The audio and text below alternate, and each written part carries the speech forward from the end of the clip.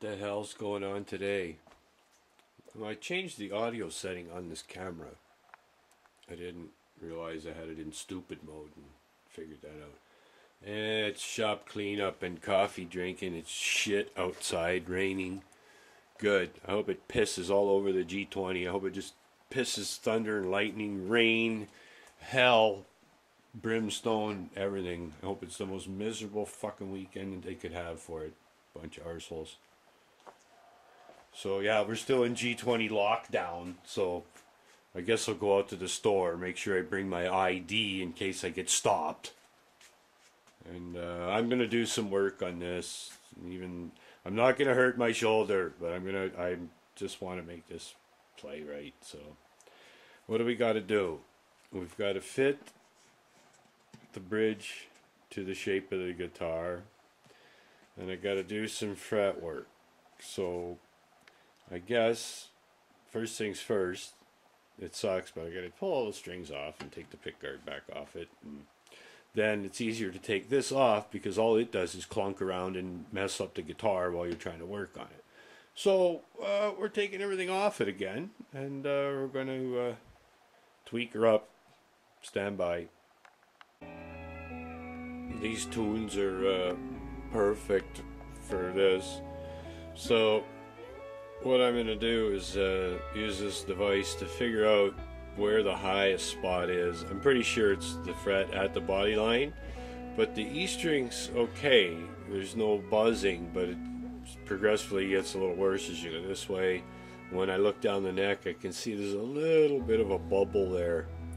So it's just uh, a good old fret leveling 101 and figure out where the high spot is. But I need to measure this with the string tension on because there's a very good chance that when I loosen all the strings, this is going to get different. So wait and see.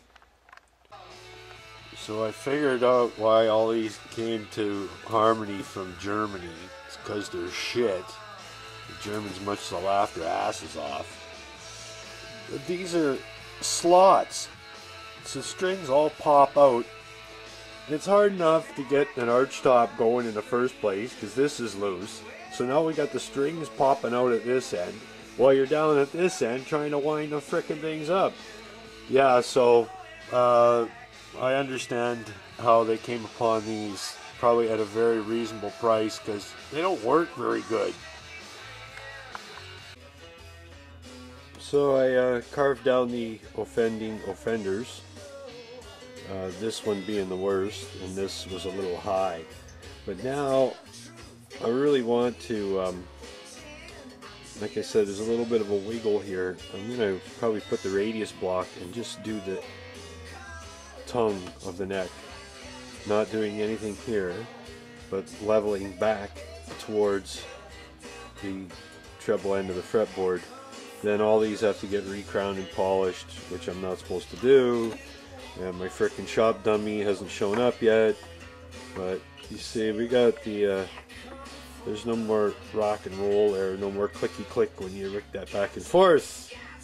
Hee-haw! Hope this new sound setting works better. We'll see what happens. Next, radius block. Got to get the radius. I think it's a 12. Pretty sure.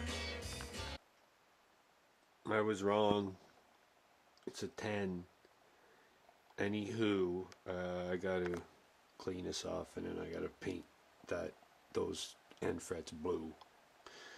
You remember why, or maybe you don't. I don't know. Does anybody really want to watch me do this? Hold on. So I got my uh, block. I protected the front of the guitar. I don't want to make any more extra work for myself. And so now I'll be careful to only go this direction with the block. This is where a 4 inch block would come in handy. Uh, I guess I could cut this in half and have two 4 inch blocks. Or I could just be careful and not smush into the guitar. Anyway, uh, stand by while I do repetitive motion that I'm not supposed to do. And you can see after a little bit of carving there how it's taken away the blue where things are high and now I see you see there's a little bit there um, there wasn't enough repetitive movement there for any sort of a happy ending so uh, uh, I'm still okay. That's pretty much that. Uh, now I gotta re-crown them and repolish them. So for anybody at home, you see this is why it's hard to do this stuff unless you got the right stuff, right? How to find the right where the high fret is. Files that are cut down small to do the job. Radius blocks. Then crowning files to make the frets the right shape again. So that should do it. And next, I'm going to show you how we're going to shape the uh, the bridge. Then this thing's going to rock. Cool.